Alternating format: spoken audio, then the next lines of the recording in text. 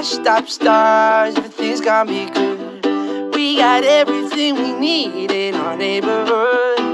No fancy cars. Remember when we were 15, smoking in the park? Never really noticed you, but I was falling hard. Remember Jimmy's pickup, drunk driving in the dark. If I think about it now, we didn't think at all. Oh. Living in our own little Hollywood. Up stars, everything's good. We got everything we need in our neighborhood. No fancy cars, everything's good. Serdecznie wszystkich hodowców. W dniu dzisiejszym w sobotę odwiedziłem e, hodowlę e, Marka Czaski. E, Hodowca dziś w sobotę ma lot z 300 km. Przyjaźń tutaj, aby ten lot nagrać, no i przede wszystkim opowiedzieć o hodowli, jak tutaj hodowla jest prowadzona, podsumować przede wszystkim sezon lotowy 2017, e, no i kilka porad dla hodowców tutaj przedstawić. No ale może bezpośrednio już Panu Markowi oddaję głos, żeby więcej powiedział. Witam serdecznie. Dzisiaj jesteśmy akurat na ostatnim locie z takich lotów 300 km do kategorii A, do oddziału i do Mistrzostw Polski kategoria A. W przyszłym tygodniu został jeszcze tylko jeden lot e, 500 km, który żeśmy przełożyli z tego tytułu, że po prostu poprzedni weekend był lot dwudniowy, więc e, zrezygnowaliśmy po prostu z tego lotu na ten dzień, bo gołębie były zmęczone i dzisiejszy lot będzie 300 km. Mhm. Powiedzmy teraz, jak mija sezon? Y, Jaka jest pozycja w oddziale? Jak loty się odbywają? Czy to jest trudny sezon? Wiem, że tutaj 700 też były. Tak, e, no sezon jest e, jak każdy, zawsze inny, nie da się przewidzieć. Zawsze mówię, że przy gołębiach jest jedno pewne, że, że nic nie jest pewne. E, Ten sezon był sezon trudny od samego początku. Jeszcze początkiem maja tutaj był śnieg, loty były przesuwane, loty były mgliste, z jednego żeśmy wracali. Pogody jak widać w tym roku są bardzo dynamiczne z roku na rok. Ostatnie 3-4 sezony zajmuje się właśnie tutaj wypuszczaniem nie tylko oddziału, ale i okręgu, więc e, coraz trudniej po prostu te pogody przewidzieć i w tym roku po prostu aura, zwłaszcza na lotach dalszych, jak nie na wypuszczeniu, to na przylocie, no nie, nie dopisywało. Mm, Szczególnie no, w naszym oddziale były 3-4 loty takie właśnie dosyć takie trudne z tytułu pogody. Mhm. Powiedzmy teraz tak, bo dzisiaj mamy lot y, w sumie do kategorii A, na którym tutaj jest główne założenie, żeby to ma kategorię A podbudować. Y, Na chwilę obecną jak ta kategoria wygląda, jaka jest punktacja?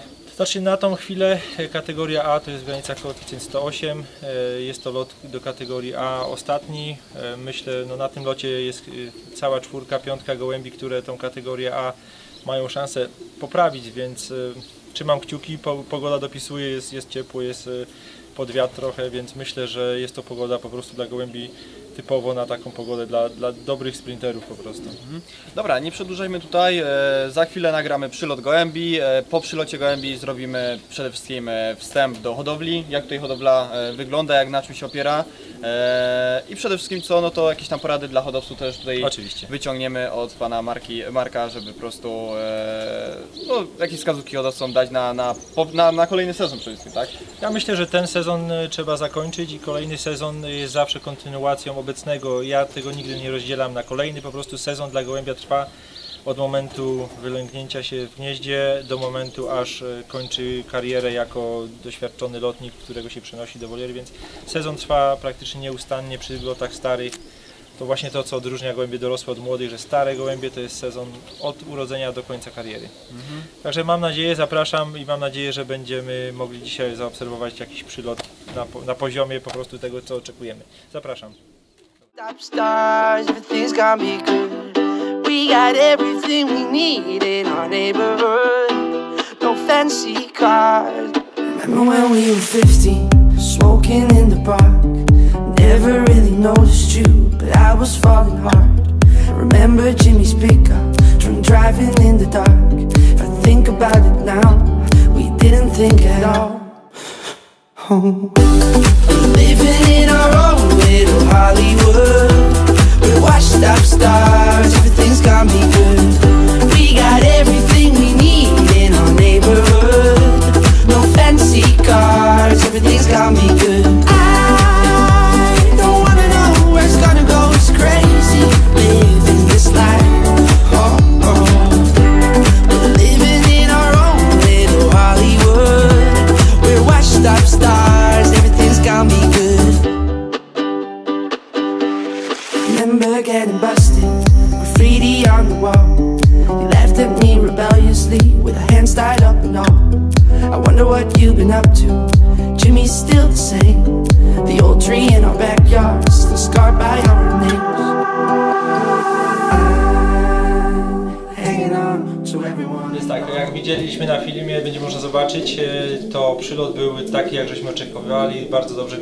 przyleciały dzisiaj, zwłaszcza te, na które oczekiwałem. Dwa z nich e, pojawiły się w pierwszej szóstce, siódemce, więc e, super, jestem z tego zadowolony.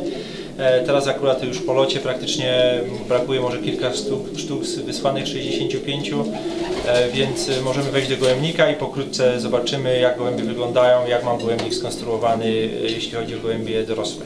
Tu może powiedzmy, jak ten przylot wygląda, bo tu mamy materiał, ale powiedzmy e, słownie, jak Tak. to wyglądało. Znaczy, ja nie wiem, czy udało się to na filmie e, ująć akurat, bo gołębie nadleciały błyskawicznie. Przeleciało stado na bardzo dużej prędkości, około 40-50 sztuk. Nie wiem, czy to były ptaki z naszego oddziału, czy to były ptaki z sąsiednich oddziałów, ale właśnie z tej grupy 40-50 sztuk odbiło chyba 7. Za chwileczkę przeleciały kolejne. E, także naprawdę, no, nawet ponad oczekiwania po prostu, nie chyba razem żeśmy tego nie oczekiwali, że aż tak będzie. No prezent na koniec lotów wymarzony. Okej, e, czyli powiedzmy no to do tej, do tej kategorii A, tak był jakby pomysł zamierzony, żeby po prostu podwyższyć ten wynik, chyba jakby prezent e, udany, tak? Znaczy się, e, dzisiejszego lotu. tak jak mówię, no nie, nie, nie rozmawiałem z kolegami z oddziału, więc nie wiem, e, e, czy te ptaki, które leciały, były z oddziału naszego, czy nie. E, Na pewno u mnie to, co mogło się najlepszego wydarzyć, to się wydarzyło, bo dwa gołębie, które miały w granicach koeficjent 30 jest jako pierwszy i czwarty odbity, czy tam piąty, więc, więc myślę, że one robotę zrobiły. E, Tam jeszcze była jedna samiczka, druga czy 299, ona też miała bardzo dobry koeficjent, nie wiem za ile jej tam może lot odpaść, także nie no, generalnie to przyznam, że, Lot jest udany. że praktycznie marzenie lot. Okej, dobra, no powiedzmy teraz tak, tu znajdujemy się w gołębniku lotowym. Tak. E, jak można przybliżyć korytarz, budowę gołębnika i przede wszystkim e, jakieś gołębie, które dzisiaj wróciły, tak? To znaczy tak, e, na gołębnik jak widzisz jest zaadaptowany z, z pomieszczenia garażowego, był to garaż taki w granicach e, 100 metrów kwadratowych, e, około 70 metrów jest przerobiony na gołębniki, gołębnik młodych gołębi w pierwszej części i tutaj gołębnik gołębi dorosłych. Jest tutaj, tak jak widać, e, obszerny chodnik w granicach 2 metry na, na 4, są przedziały, trzy przedziały 1,80 m na 2 po 12 cel, jeden przedział jest tutaj w tym rogu e, taki ścięty troszeczkę kwadracik, tam jest 15 par i narożny przedział tam jest 2 na 2 tam jest na około 20 par. Jest jeden wspólny, e, jest jeden wspólny wlot, dzięki temu e, ogranicza to ilość anten e, i też ptaki po prostu tym tunelem pojedynczo wchodzą, żeby się dobrze rejestrowały. Cóż mógłbym powiedzieć o gołębniku? Z gołębnika tego jest przejście do gołębnika samic. Tu bezpośrednio samice się znajdują za tą zasuwą. Czyli tak jakby taka boilera, gdzie na Tak, której jest... woliera Mhm. osłonięta, żeby nie była, nie przegrzewała się. Tu się znajdują cały tydzień samice. E, Samice e, przy oblotach takich codziennych to wlatują tutaj do gołębnika tą klapą. Mhm, czyli jest zrobiony taki wlot osobny. tak, one w- tędy wchodzą cały tydzień rano wieczór. E, Natomiast raz w tygodniu, jak jest lot, to mają zaszczyt przebywać właśnie tutaj z samczykami. W tygodniu gołębie się nie widzą, w tygodniu nie stosuję żadnych podlotów wspólnych. Jeżeli już zrobię, to, to, to osobny, że gołębie się po prostu nie widzą. Po prostu cały czas staram się w gołębiach budować taką tęsknotę i napięcie, ponieważ uważam, że wspólne obloty czy treningi czwartek, piątek, y, gołębie się po prostu wyładują e, emocjonalnie, wyładują się, można powiedzieć, e, seksualnie, a to jednak seksualność to jest coś, co, co zwierzęta, co ptaki motywuje do szybkiego powrotu. I dzisiaj pierwszej grupie było widać, że właśnie ten mój faworyt agresor e, bezpośrednio przyleciał z własną samicą, co też myślę, że dodatkowo w, locie, jeżeli się spotkały, samiczka jest odbita pierwsza, on jest czwarty w mojej drużynie, raptem sekundy różnicy, no to myślę, że to była dodatkowa Ja, ja motywacja. tutaj dodam, bo hodowcy na pewno, którzy mają Facebooka, widzieli jak tutaj pan Marek e, Czaska na Facebooku dodał film, gdzie motywował swojego Tak. do, do lotu. No i po locie to samo się zdarzyło, też go tak jakby, może nie tyle motywował, ale tak Zaraz, jakby, zaraz przejdziemy do niego, jest samicą, on bardzo broni samicy, bardzo broni gniazda. Jest to również e, akurat 9121, to jest akurat również półbrat mojego złotego medalisty 85, jest to syn tej mojej samiczki wybitnej 411 i jest to wnuk Argentona od Fryderyka właśnie z Engelsów, nie? Także fenomenalny gołąb i w tym roku na ten moment no na pewno e, to będzie e, jego taki konkurs, który mu był potrzebny, bo miał około 30 koeficjent, a myślę, że teraz tym konkursem fajnie poprawi. Okej. E, Powiedzmy może teraz, jak tu jest, jesteśmy jeszcze, o tej ściółce, bo tutaj dużo hodowców też dopytuje, jak to się sprawdza.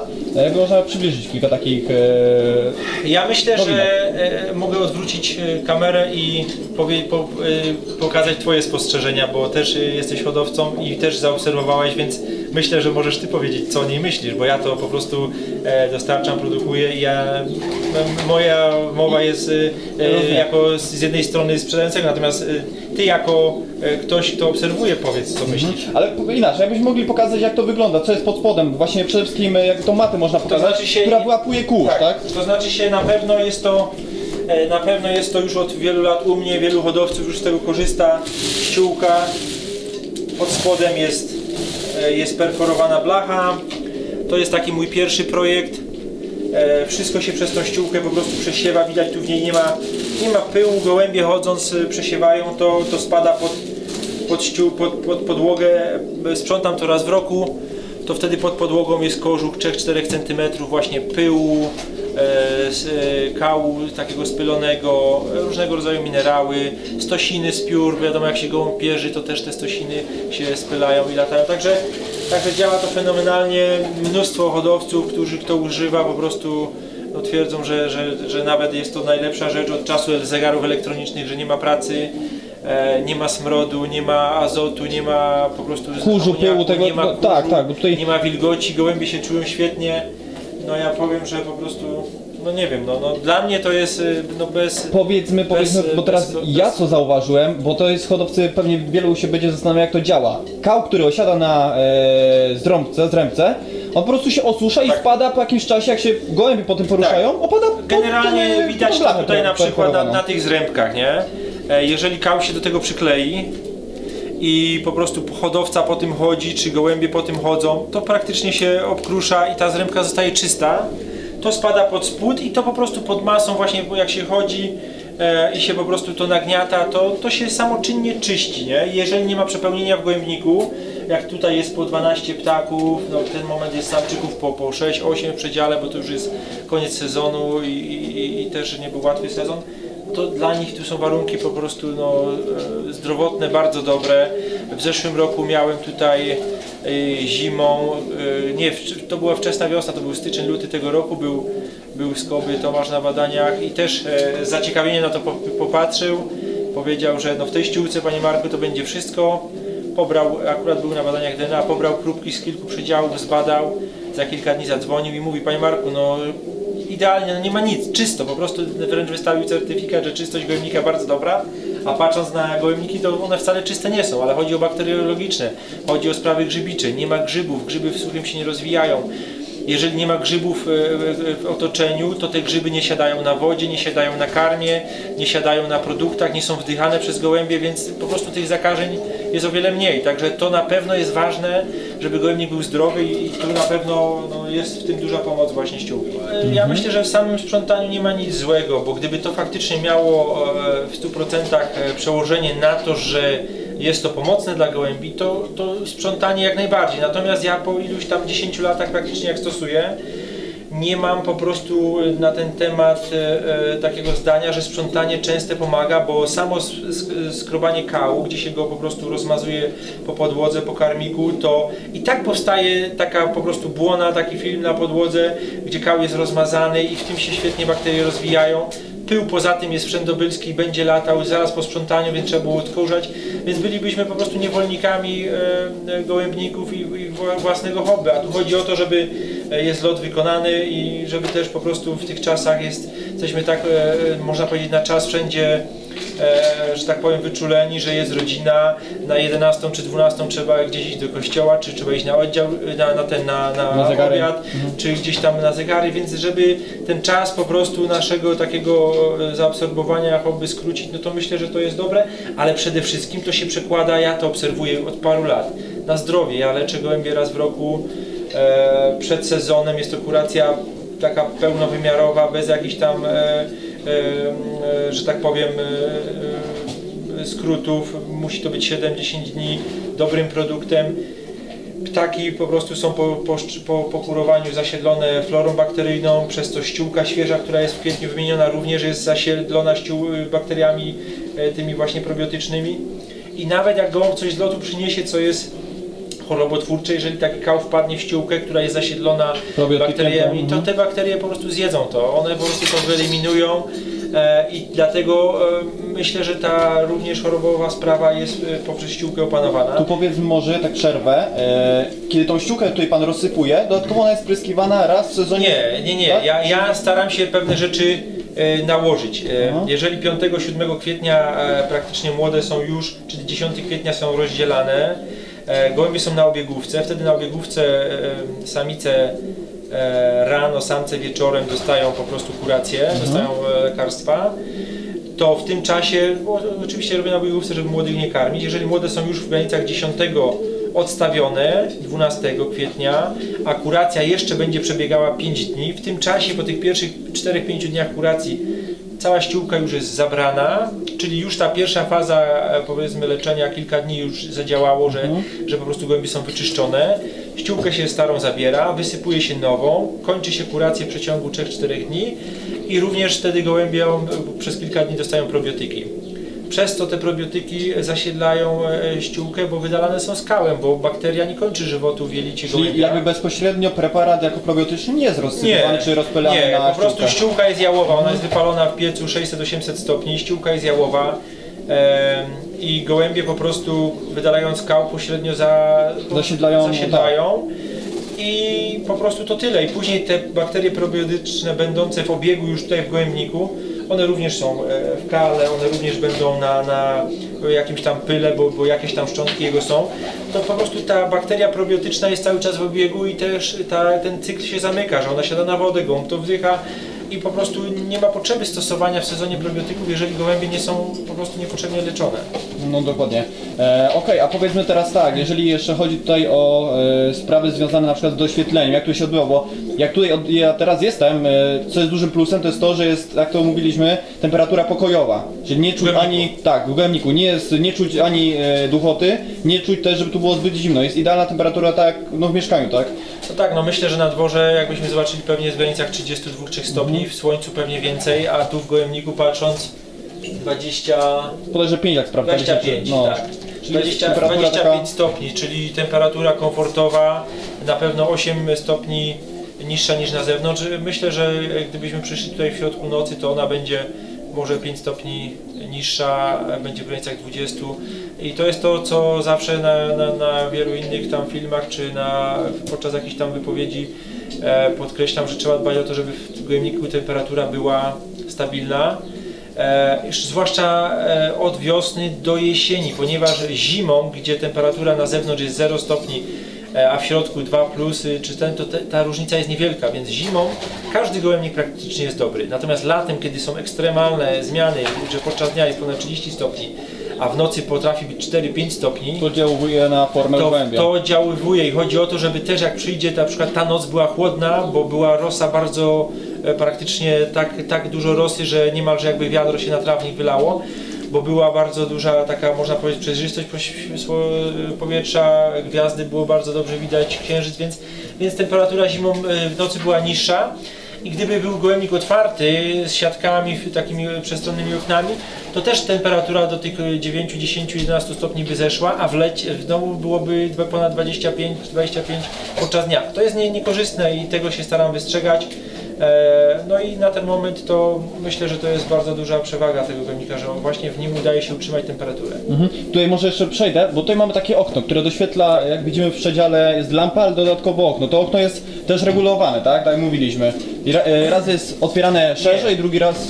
To znaczy się tak, tu jest e, jak widać możliwość rozsunięcia tego, tego świetlika jest bardzo duża, bo okno ma na pewno metr na metr, ale e, po paru latach e, stwierdziłem e, różnych doświadczeń, że najlepsza dla klimatu gołębnika jest szczelina po prostu Minimalna. minimalna, bo cały sufit jest przeszklony i od dachu podczas dnia jest bardzo gorące powietrze.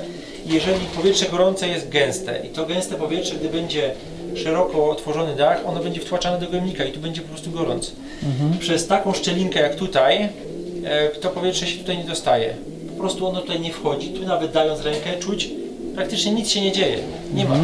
Natomiast gdybyśmy to odsłonili, to zaraz będzie czuć Zresztą nawet Grube gorące, ciepło, ciepłe, jakby ten powietrze idzie do góry zawsze, więc ono Ale tam w jest. dachu, Aha. dlatego w dachu są duże wyłazy dachowe, i które ja zawsze polecam, bo hodowcy różnego rodzaju montują jakieś tam cienkie wywieczniki, cienkie rureczki.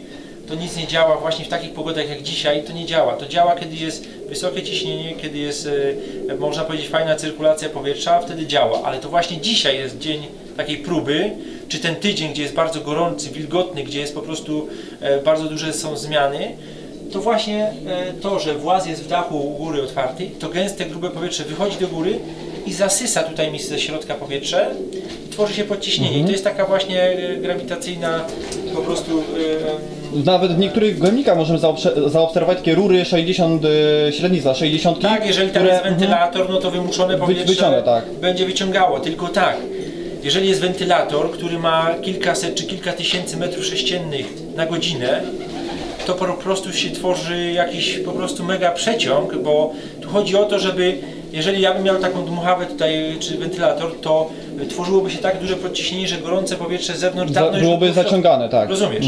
A tu mi chodzi o to, że kubatura gołębnika umożliwia utrzymanie tego powietrza, które jest wcześniej rano, w nocy, które się dostało spogo, spopo, spokojnie przez kilka godzin, to na cały cz- czas tutaj jest.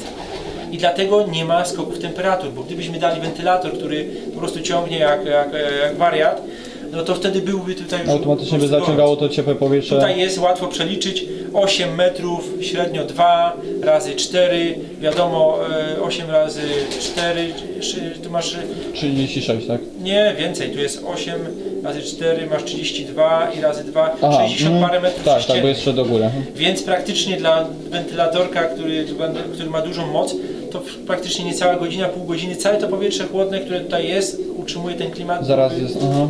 I tu o to chodzi, żeby Czyli naturalny jakby, naturalny przeci... naturalnie. Prze, ten, prze, I dzięki temu ja nie muszę myśleć, że coś włączać, wyłączać. Po prostu gołębnik ma funkcjonować, czy ciebie w domu nie ma, czy jesteś, gołębnik funkcjonuje sam. Nawet kwestia nawiewów, cała ta przednia ściana, jak zobaczysz, odwrócisz w drugą stronę, ona jest pozasłaniana po to, żeby nie było uderzenia właśnie powietrza, czy w nocy, czy w dzień. Jest to przedział narożny, można powiedzieć. I tutaj nie da się odczuć, że że jest jeszcze chłodniej w tym narożnym, nie? Lepiej niż tam po prostu, nie? E, patrząc akurat tutaj e, to, co e, wcześniej mówiliśmy, mój akurat faworyt, którego oczekiwałem, który ma, akurat dzisiaj przyleciał w parze ze swoją samicą, nie? Jest to gołąb, który po prostu, on nawet, on nawet, e, on nawet walczy jak jest, jak jest po prostu w rękach, on zawsze musi być w gnieździe, on się nie da za żadną siłę.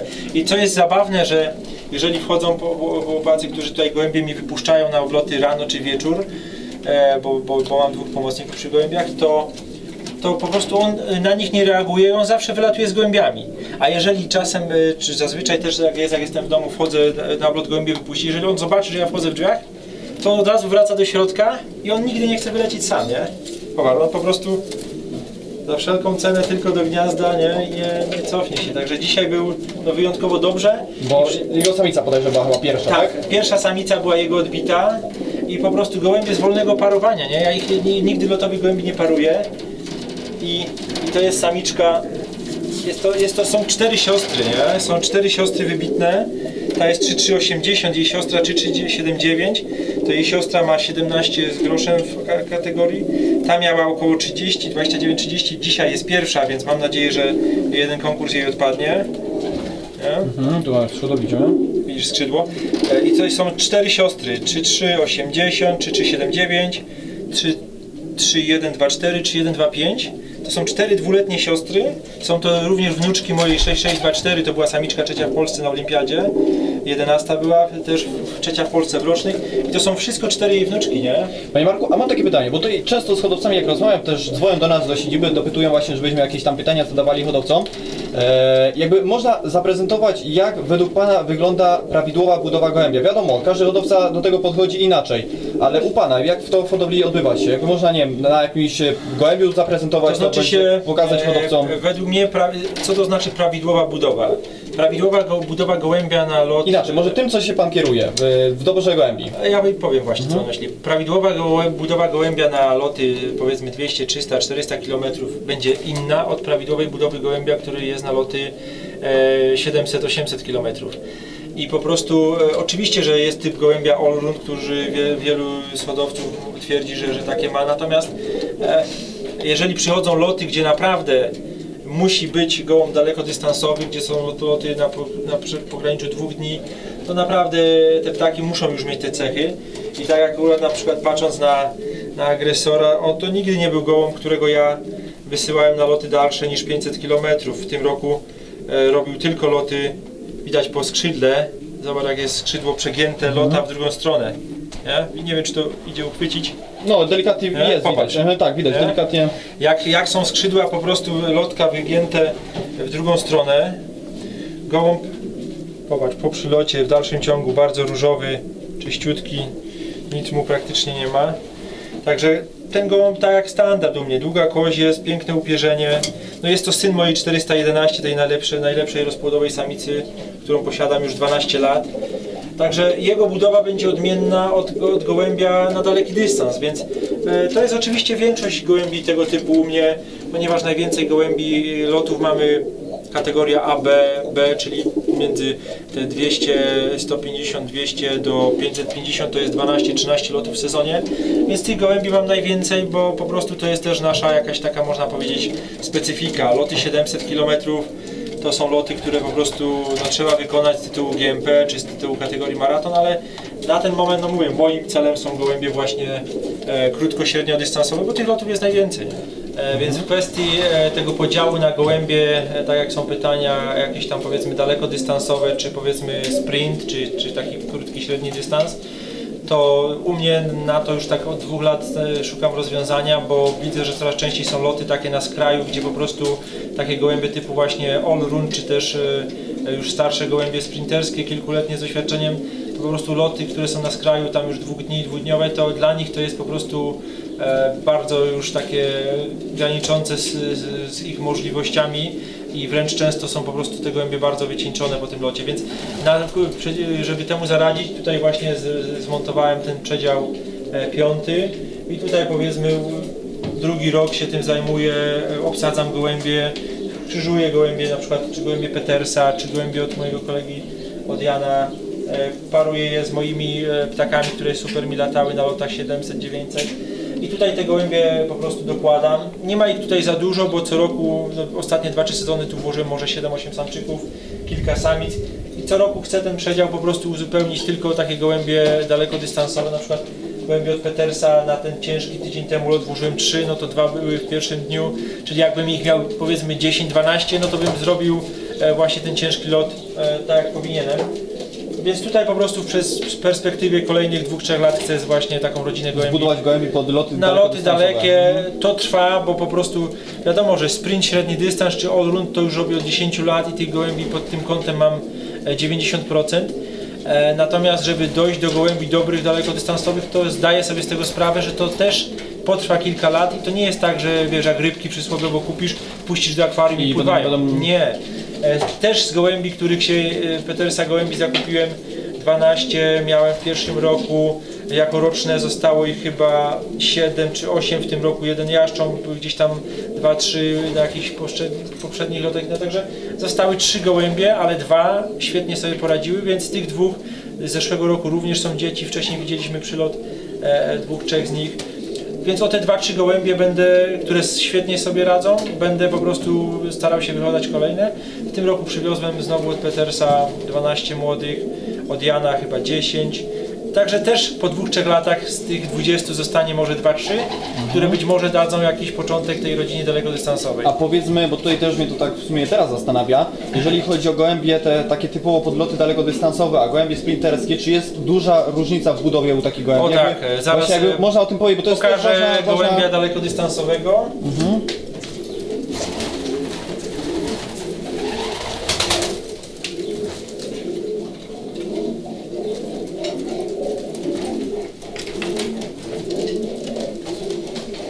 Jest akurat samiczka od Norberta, też dzisiaj była. Ona wszystkie loty w tym roku zrobiła, komplet lotów, też ma du du dużo konkursów. No ale tak, z pierwszej 700 była pierwsza na gołębniku, z drugiej 700 była bodajże chyba druga albo trzecia. I oczywiście e, jest to inny typ gołębi, już widać od, od, od moich. Przede wszystkim barwa ich jest inna, e, to tak e, wizualnie patrząc, że one się od, odznaczają. Natomiast ten gołąb już jest mniejszej budowy, on już jest taki bardziej płytki, zaokrąglony, jest też leciutki. Lżejszy jest, tak. Lżejsze są Mhm. gołębie, nie mają tyle mięśni. Jest inny układ skrzydła. To skrzydło pasywne jest o wiele szersze, nie? Czyli to skrzydło takie, które gołębia niesie podczas długiego lotu. Także i- no jest, no i przede wszystkim coś, czego nie widać, to jest psychika tej gołębi. One lecą swoim rytmem, one mają ten upór, który im pozwala po prostu lecieć wiele godzin. E, No i akurat z tej samiczki dwa roczne zeszłego roku są, z samczyka jest jeden, także są trzy sztuki roczne, na przyszły rok będą dwuletnie, plus te dwa, plus jeszcze kilka innych gołębi, które mam. Więc myślę, że w 2-3 lata ta drużyna po prostu na takie loty właśnie e, trudniejsze się zmontuje. I tu chodzi mi oczywiście o gołębie, które nie chodzi o to, żeby one po prostu tylko ten lot przyleciały, bo to nie jest problem, ale tu chodzi o to, żeby one właśnie tak trudny lot, żebym ja mógł na nich polegać, żeby to były po prostu stuprocentowe gołębie, że jeżeli się, znaczy 100, niech będą 70%, to znaczy, że z 10 wysłanych 7 po prostu e, zrobi, z czego e, 3, 4, 5 bardzo dobrze i o to mi chodzi, to jest mój cel, ale to mówię, to jest początek. E, Myślę, że kierunek jest dobry, bo te gołębie po prostu, no widzę, że, e, że po prostu dają radę i to dobrze, także Czyli teoretycznie jakbyśmy mieli to podsumować, gołąb e, na dalszy dystans charakteryzuje się tym, że jest przede wszystkim e, płytszy, jest bardziej taki... Fizycznie, fizycznie oczywiście, ale to przede wszystkim to są cechy jego psychiczne, jego po prostu, jego temperament, jego spokój. No te gołębie się na pewno temperamentem oznaczają innym, a fizyczna budowa, no to już jest oczywiste druga rzecz. To Druga rzecz, która wizualnie tak, no. widać, że te gołębie są inne niż cała reszta moich gołębi. No Jak zresztą nawet ja tutaj zrobię takie ujęcie, tutaj widzimy tą samiczkę, którą przed chwilą prezentowaliśmy. Ona jest taka no zgrabniejsza, tak? Jest drobniejsza, samica jest lżejsza, natomiast y, również w tym roku ma chyba 10 czy 11 konkursów, e, natomiast y, 700 zrobiła dwie 700 w konkursie u mnie praktycznie podstawie. Mówię, gdybym miał takich gołębi więcej, to na pewno e, byłbym o wiele lepiej w tym roku na tych lotach. Także no, myślę, że kierunek jest dobry, natomiast wymaga to czasu, nie? To nie jest tak, że z roku na rok od razu po prostu e, wyhoduje się rodzina, która świetnie będzie latała dalekie loty. I zwłaszcza trudne, bo loty 700, 8, 9 godzinne nie ma problemu, ale jeżeli są już na pograniczy dnia kolejnego, no to wtedy to już wtedy są inne gołębie. A powiedzmy tutaj jeszcze powiedzmy- tutaj jeszcze taką jedną e, sprawę, bo też hodowcy dopytują, jak odbywa się e, przygotowanie do sezonu kolejnego, czyli zakończymy teraz sezon, bo mamy jeszcze jeden lot 500 km Tak. tutaj, e, kończymy tym lotem i jak to wszystko się odbywa, bo teraz często hodowcy robią tak, że kończą się loty gołębi dorosłych, zamykają sezon, e, zaczynają się loty gołębi młodych i te gołębie dorosłe idą zawsze na bok, więc jak tutaj, tutaj w hodowli jak to się odbywa? Znaczy, tak jak powiedziałem wcześniej, sezon u, y, u gołębi dorosłych nigdy się nie kończy. To jest po prostu ciągłość nie, nieprzerwalna, to jest po prostu wzajemne współzależności. Gołębie po ostatnim locie praktycznie są znowu przygotowywane tak jak na kolejny. Nie robi się żadnej przerwy, dostają po prostu odpowiednie przygotowanie tak jakby na kolejny lot, czyli dostaną karmę odpowiednio mocną, bo ja karmię zawsze te pierwsze dwa dni po locie mocno rozpłodową, białkową karmą. Dostaną aminokwasy, są przygotowane tak jakby na kolejny lot. Minimum te 7-10 dni przebywają w dalszym ciągu w metodzie wdowieństwa. I też to się też wiąże z tym, że jak gdzieś tam mam jakiś tygodniowy, 10-dniowy urlop, jak wracam w granicach 7-10 sierpień, to gołębie są dopiero parowane. Także praktycznie u mnie wdowieństwo trwa u gołębi od 10-12 kwiecień do 10-12 sierpień, to masz kwiecień, maj, czerwiec, lipiec, sierpień, 4 miesiące, to jest 17-18 tygodni, gołębie są cały czas we wdowieństwie. E, I to po prostu w ten sposób, później po lotach one są przygotowane, więc kolejny lot, e, praktycznie kolejny tydzień, e, czy te 7-10 dni po, po, po ostatnim locie. Oczywiście w międzyczasie są usuwane już gołębie, dla których w przyszłości nie ma, już wiemy o tym od kilku tygodni, ale gołębi w sezonie nie usuwam, bo gołębie, które nawet są tak zwaną zapchaj dziurą, stanowią motywację dla tego sąsiada, który dobrze leci, więc w sezonie nigdy nie robię żadnych głupich ruchów ale praktycznie po ostatnim locie to zostawiam już wybranych powiedzmy w granicach 30, 35, 25, zależy jak się ich sezon kończy. W tym roku myślę, że to będzie około 30 par, czyli około 60 sztuk, 55-60 sztuk będzie po, po lotach. To będą na pewno samczyki, no i, i na siłę po prostu zredukuję ilość samic. Część samic już jest z roku 11-12, więc odejdą do, e, do po prostu, że tak powiem, do rozpłodu. Jest chyba trzy samczyki z 12 również skończą karierę i albo zostaną jeszcze w kwestii, żeby stworzyć pary po lotach, zostaną jeszcze na lęgowanie tutaj, a jeżeli będą przeszkadzały, no to zostaną przeniesione do głębnika rozpłodowego i tam sobie będą już wychowywały kolejny lęk. A powiedzmy teraz tak, e, bo tutaj mówimy o samym zakończeniu, a na przykład jak zaczyna się już sam początek sezonu, to przykładowo e, z początku gołębie oczywiście są parowane, e, jak to, kiedy odbywa się ten okres ten startu, czyli taki typowo już przygotowywania do lotu. u mnie przerwy nie ma e, bo, za dużej, bo e, pa, karmię się, karmienie bardzo dobre karmami rozpłodowymi, bo, bo, tak, czy tam lotowymi jest praktycznie do połowy stycznia, bo gołębie się jeszcze pierzą i paruję znowu gołębie w połowie lutego, czyli parowanie jest połowa lutego, 14-15 luty gołębie są lotowe parowane, w granicach 10-12 kwiecień są rozdzielone na biegówkę, 5 kwiecień są na biegówkę przy- przychodzą i wdowieństwo jest od połowy kwietnia do, tak jak mówię, do gdzieś 10 sierpień.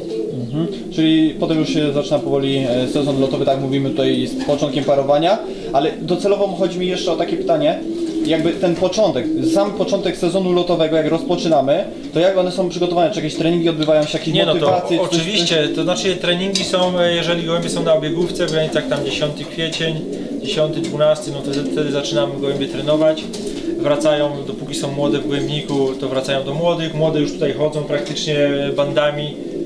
Bo tak, tutaj jeszcze przerwę. Wiadomo, musimy minąć ten okres pierzenia, musimy minąć e, okres zimowan, zimowania gołębi, ale tu jakby można tak hodowcom nakreślić początek sezonu lotowego, czyli na przykład co trzeba wykonać, żeby ten początek y, zacząć z takim no, dobrym impetem. No na pewno motywacja jest ważna dla gołębi. Ja co roku e, właśnie wychowuję lęk młodych, hodują wszystkie ptaki po dwa młode w gnieździe. E, Hodowla młodych to nie choroba, tego się nie trzeba dba, bać, o to trzeba dbać, a i gołąb z pewnością do gniazda, które, w którym wychował młode, chętniej wraca. E, mm, Zaczynam treningi 10-12 kwiecień. E, Robię tych treningów między 10, 12, 15, w zależności jakie są warunki. E, nie trakcie- dalej, trakcie nie, nie dalej jak treningi? 40 km. W trakcie sezonów tylko po lotach takich na przykład, gdzie go, znaczna część stada pauzuje. Nie robię treningów przed 500, przed 700, ale robię na przykład tak jak teraz jest 300, to środa, czwartek po prostu te gołębie są wywiezione, Na trening, bo nie były na locie. Wiadomo, na 700 km idzie 10-15 gołębi. Ja nie daję tych gołębi dużo na maratony. E, więc one są wywiezione wtedy też nie za daleko, 15-20 km oddzielnie i to jest wszystko co ja robię. Czyli to jest ten i potem się sezon zaczyna i ten. To znaczy mówimy o treningach w sezonie. Tak, tak, tak. W sezonie tylko po lotach, gdzie, gdzie stado pauzuje, nie? To krótko na rozruch. A powiedzmy karma jakaś energetyczna typowo przed lotami, jak to jeszcze, bo wiadomo, no każdy hodowca musi sobie do, do siebie Tak, dostosować ale przed lotami e, praktycznie karmię karmami rozpłodowymi. E, są to karmy Van Robeisa, głównie wysokobiałkowe, 30, tak? 38, 39, 11, do tego jakaś tam powiedzmy trójka lub czwórka. E, to, to, to dostają aminokwasy, dostają minerały, więc karmię je 3-4 razy dziennie, e, bo po prostu gołębie od rana do wieczora muszą tem, po prostu mieć zabezpieczenie. No i później już tak od tego 5-7 kwiecień młode już tu biegają, same sobie w większości już jedzą, ale jeszcze je na siłę trzymam, że jak stare są na obiegówce, to po prostu je wywożę do tych młodych, e, że wracają. Jak rozdzielę młode w granicach połowy kwietnia, to później robię dwa, trzy treningi takie powiedzmy z 40 km wspólne, żeby te gołębie po prostu wracały, bo też tęskną, bo już się nie widzą od 2 Tak, kwietnia, dwa tygodnie większa motywacja była. Mhm. Więc ja wtedy je w ten sposób e, wspólnie wywożę. No i w zasadzie nie ma w tym większych jakichś tam e, sekretów ani, ani żadnych A tajemnic. powiedzmy jeszcze tak dopytam, bo tutaj e, zrobiliśmy dzisiaj taki materiał stricte jakby związany z e, sezonem, jak tutaj no, mistrz w sumie Polski, jak e, to wszystko e, robi w swojej hodowli, ale powiedzmy teraz tak, do karmy są dostosowane jakieś konopie, jakieś ostropes, kukurydza, coś w tym e, kierunku, jakieś, jakieś nasiona, bo tutaj widzę po locie mają chyba orzeszki ciemne, tak, dodane? Nie, nie, nie, nie, nie, ma orzeszków To może być bobik, bo w karmie Aha. 11 jest bobik, e, 11 domieszuję. Natomiast e, e, kiedyś może bardziej e, wierzyłem w takie rzeczy. E, Jeżeli używam karmy, e, które są po prostu dosyć urozmaicone, oczywiście orzeszki dodaję, ale z konopi całkowicie się wyleczyłem, praktycznie nie używam.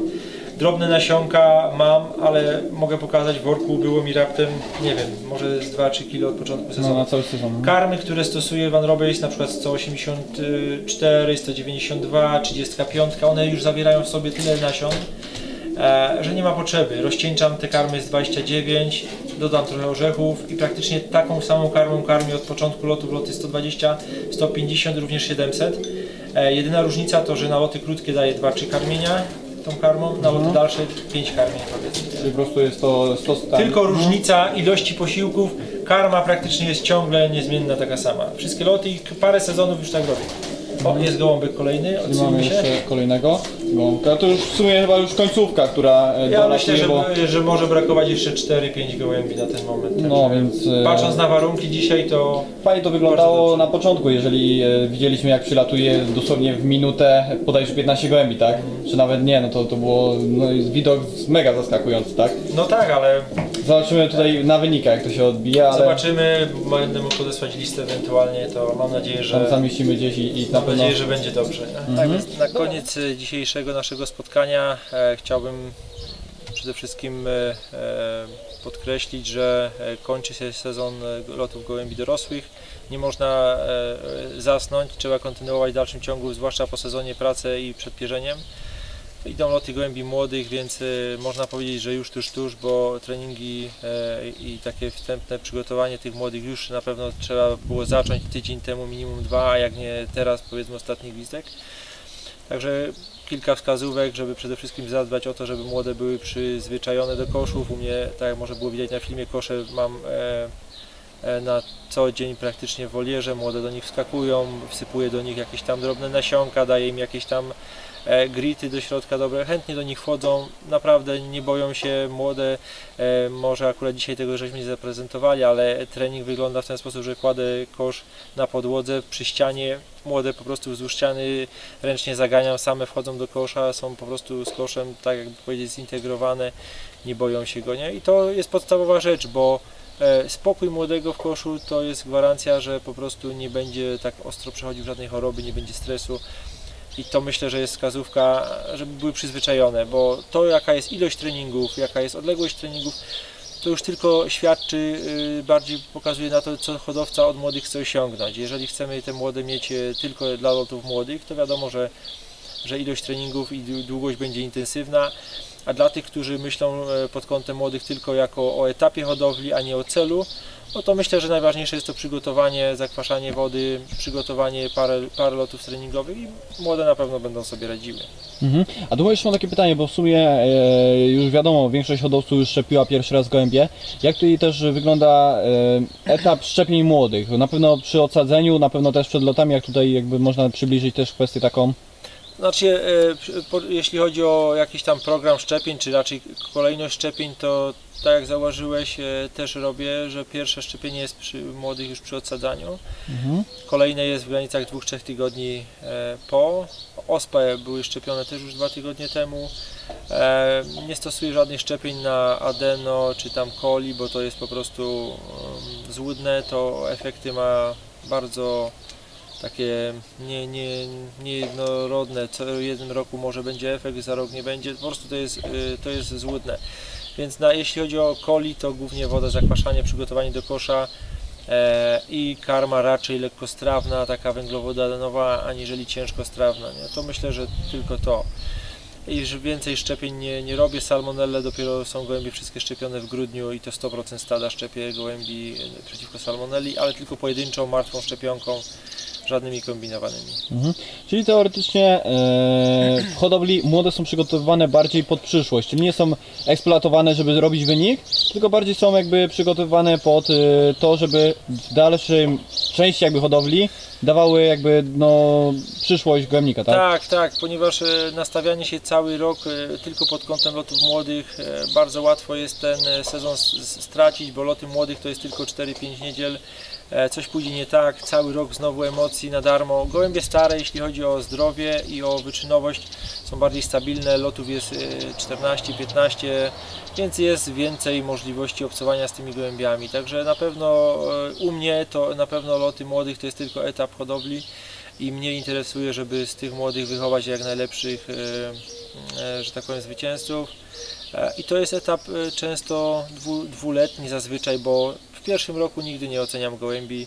E, Te, które lecą dobrze, ok, są to najczęściej sprintery, gołębie, które latają na lotach średnio i dalekodystansowych, te wymagają dwóch lat. I dopiero w wieku dwóch lat oceniam gołębie, e, więc ten proces u mnie trwa 2-3 sezony, żeby po prostu wyłonić e, drużynę. Ten sezon akurat był taki, że było około 50 dwuletnich ptaków, tylko 8 starych, takich powiedzmy 3 lata wzwyż, więc też i nie można było się w tym roku oprzeć za bardzo na gołębiach, tak jak rok temu było więcej ptaków, powiedzmy 3, 4, 5-letnich, e, było ich chyba 17, w tym roku 8, bo po prostu dlatego, że był bardzo dobry, udany zeszły rok, zostawiłem około 52 latków, no i na, ten, na, na ich e, niekorzyść musiałem po prostu zlikwidować, e, usunąć z hodowli starsze. No i ten sezon wymagał starszych gołębi, to też myślę, że się odbija na lotach 500-700, bo wysyłałem tam dużo gołębi dwuletnich, które niejednokrotnie szły pierwszy raz. Im brakło po prostu doświadczenia. A jeszcze już tak ostatnie pytanie na sam koniec. E, Jakby można powiedzieć sprawę związaną z e, hodowcami młodymi bądź hodowcami początkującymi. E, Jak to się odbywa przykładowo tutaj u Pana, co mógłby Pan hodowcom młodym czy hodowcom początkującym doradzić? E, Jaką, jakąś wskazówkę bądź tym, czym mają się kierować, żeby po prostu jakiś tam wynik w przyszłości budować, tak? Ja myślę, to już też jest częste pytanie i, i zawsze na ten temat się jakoś wypowiadam, e, natomiast podkreślę ponownie, młody hodowca nie powinien sam starać się odkryć, nie wiem, gorącej wody, ona już istnieje. Młody hodowca powinien wesprzeć się zawsze opinią, pomocą e, minimum jednego czy tam dwóch hodowców doświadczonych. Powinni to być hodowcy, którzy osiągają rezultaty, powinni oni tego hodowcy przyjechać, doradzić mu, czy gołębnik jest dobrze zbudowany, bo to jest numer jeden. Zdrowy gołębnik to są zdrowe gołębie. Gołębnik, który ma tendencję do różnego rodzaju, nie wiem, przegrzewania, wilgoci, e, różnych tam e, jakichś słabości, to, to się później przekłada na mieszkańców. Więc y, numer jeden to jest gołębnik. Bez tego nie ma możliwości, żeby najlepsze ptaki e, cokolwiek umiały osiągnąć. Przede wszystkim też chyba też karma, oczywiście. Tak, ale zdrowie, pewne rzeczy umiemy po- powiedzmy jakoś tam skopiować, czyli umiemy zastosować karmy, które mają dobre Mhm. rekomendacje, umiemy zastosować produkty, które mają dobre rekomendacje. E, to już gołębnika nie jesteśmy w stanie Mhm. skopiować, No bo gołębnik u mnie dobry, u kogoś będzie zły. Zresztą Więc- Więc... buduje się na parę lat, tak?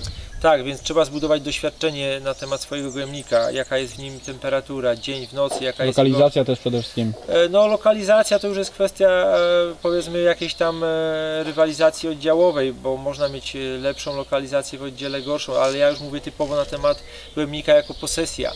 Jeżeli jest nasłoneczniony, to zadbać o to, żeby on nie był przegrzewany. Jeżeli jest w cieniu, zadbać, żeby nie był chłodny, zimny, wilgotny.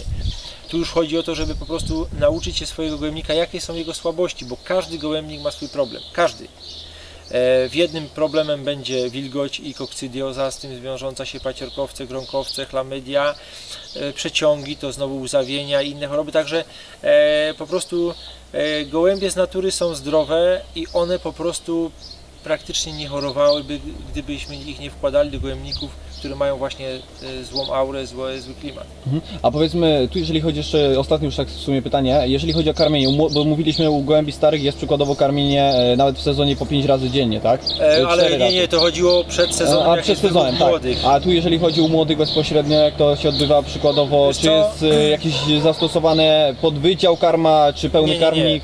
U mnie wszystkie gołębie od młodu już są selekcjonowane pod tym kątem, e, pod kątem metody takim, jak są lotowane jako dorosłe. I dorosłe u mnie są lotowane na pełny karmik. Mhm. U mnie po prostu nigdy się nie wydziela, ja po prostu po 20-30 minutach karma jest zabierana. Zresztą pomagają mi e, hodowcy, można powiedzieć, pomagają mi ludzie, którzy nie są hodowcami, są to laicy, są to ludzie, którzy nie umieją złapać gołębia do ręki.